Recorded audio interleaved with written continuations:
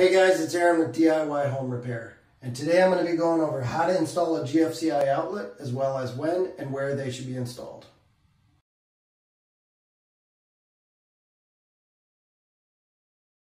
Alright, so GFCI stands for Ground Fault Circuit Interrupter. Now what that means essentially is that if there's any imbalance in the current, um, the current is immediately shut off. So in the instance of a GFCI outlet, um, if any uh, imbalance is detected, the power is immediately shut off at the outlet, and then you'll you'll see the outlet trip. Um, an example of that might be um, you've got a curling iron or hair straightener or something like that, and it gets wet, water splashed up on it. Um, the outlet might detect that and immediately shut off the power. All right, so according to the NEC, GFCI protection is required in bathrooms, garages, outdoor locations, unfinished basements, crawl spaces, kitchens, laundry utility rooms, and pool spa areas. Now that of course doesn't necessarily mean that a outlet, GFCI outlet is required in all those locations. It just means that they just need to be GFCI protected. That being said, don't go running around your house thinking, oh my gosh, I need to replace all these outlets because they're not GFCI protected. In a lot of those locations, the only thing that's required is GFCI protection, which can be accomplished through a standard outlet that is downstream of, G, of a GSI, GFCI receptacle. Now, an example of this might be a kitchen. Um, so, for example, if we look at my kitchen, I have a GFCI outlet and then I have three standard outlets downstream. Now, those are all protected, assuming that they are connected properly to the GFCI and that the GFCI, GFCI is so good. Now, a way to test that would be to go to your GFCI outlet, hit the test button, which should shut off the power, and then go down to your downstream outlets and put your tester in there and make sure that the power has been shut down, shut off. As long as it has been shut off, you know your GFCI protected.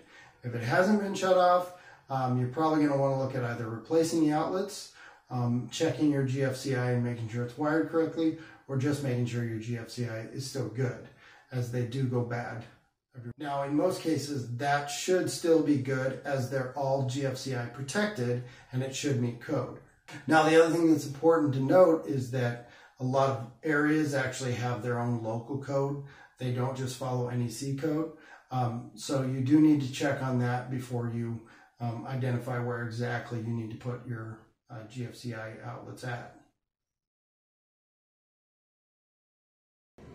All right, so the first thing we're going to do is we're going to remove our old receptacle. Now, before we can do that, we need to actually shut off our circuit. Um, so what I'm going to use is I'm going to be using the Klein Tools uh, circuit breaker finder. Now, if you don't know how to use this, I will link to it and up in the and there'll be a link up in the corner or there'll be a link in the description. But we're just going to plug this in and then we'll go shut our circuit off. All right, so now that our circuit's off, we'll go ahead and pull out our old outlet.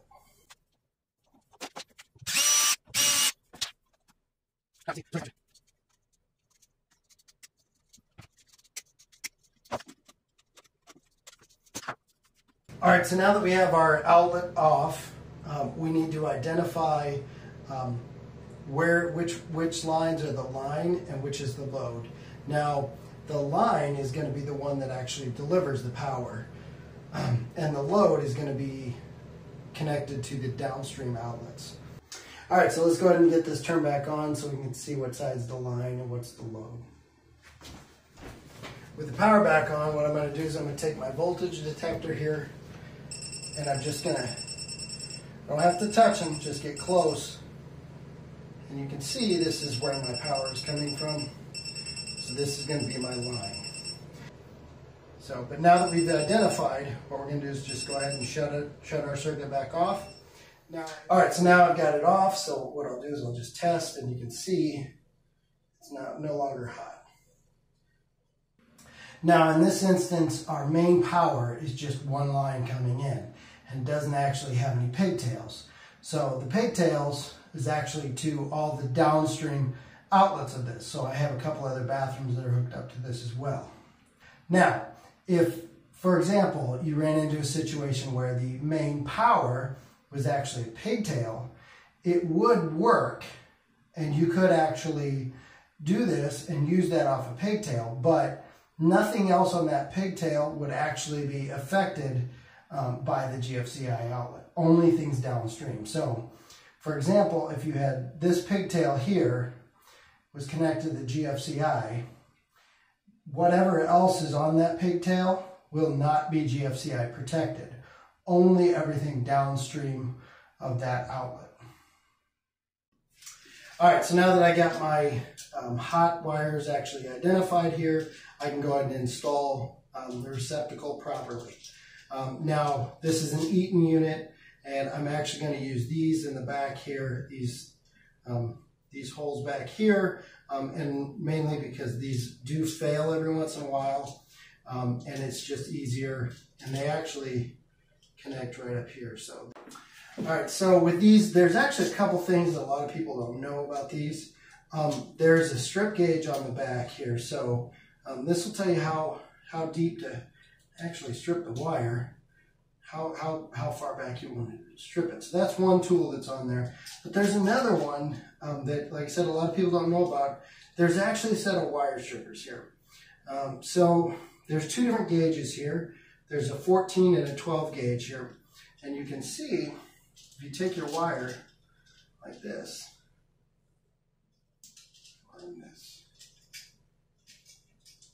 Now these aren't the most convenient things, but it does work.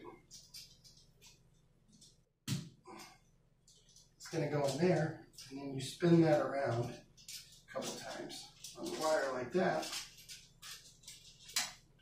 And you can actually just pop that right off. And there you go, and then you have it cut. You have it stripped back where you want it. Now, like I said, it's not the most convenient thing. Um, I'm probably not going to use it again, but it is there. It's kind of a neat little tool. All right, so now that I got that stripped back, what we're just going to go ahead and put that in there. And like I said, it's fine to use these on GFCI units here. We'll just tighten this down.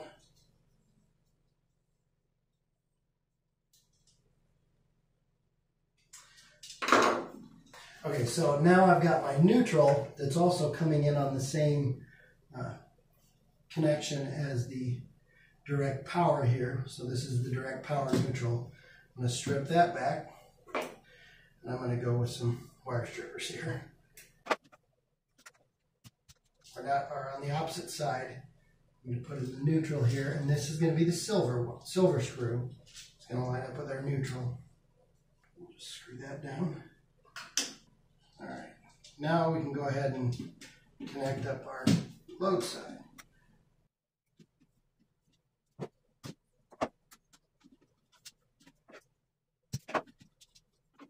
culture, pop is culture, culture.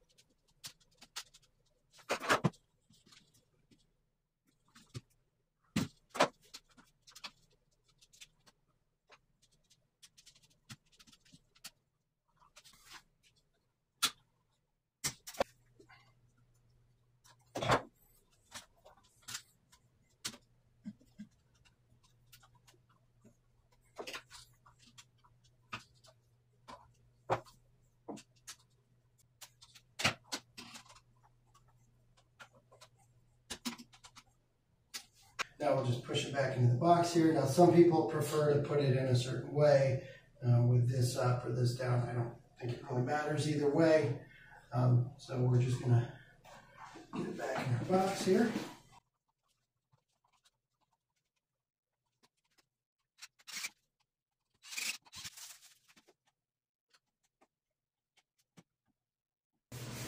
Hey guys, thanks for watching. As always, if you're not already a subscriber, make sure you click that link below and become one.